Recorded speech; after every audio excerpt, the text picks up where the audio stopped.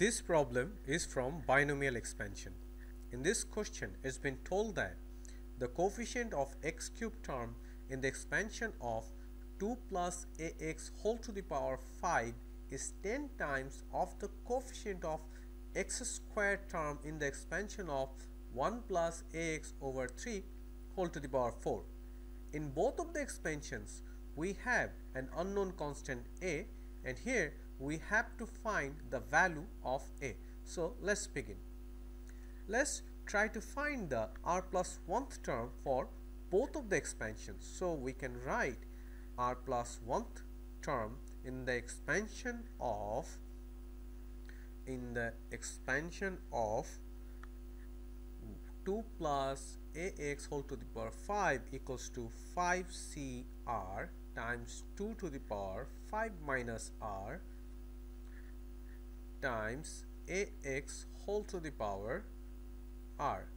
That can be written as 5cr 2 to the power 5 minus r times a to the power r times x to the power r. Now x cube term. To get the x cube term the r plus in the r plus 1th term the power of x must be 3 so r must be 3 using r equals to 3 we can write 5c3 2 to the power 2 that is 2 squared then a cube times x cube. Therefore the coefficient of x cube is 5c3 2 square a cube. Now r plus 1th term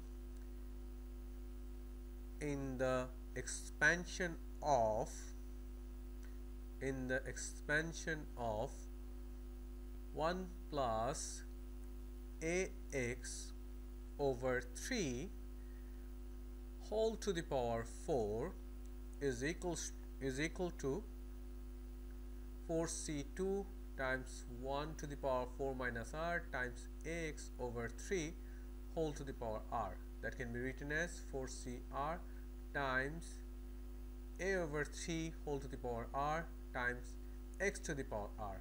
Now we need x squared term. For x squared term, the value of r must be equal to 2.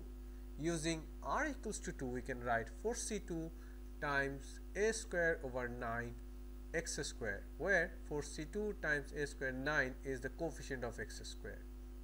Now in the question it said that the coefficient of x cube term is 10 times the coefficient of x squared term.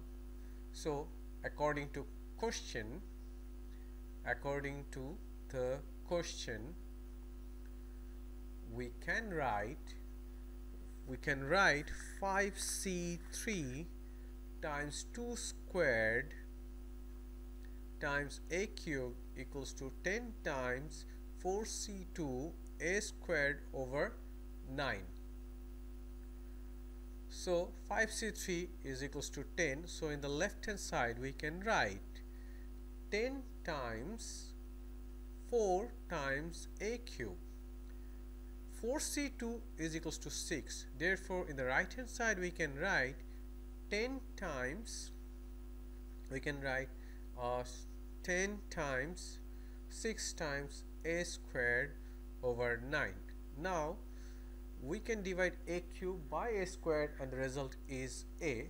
In the left hand side we can write a. 10 and 10 can be crossed out from the both sides.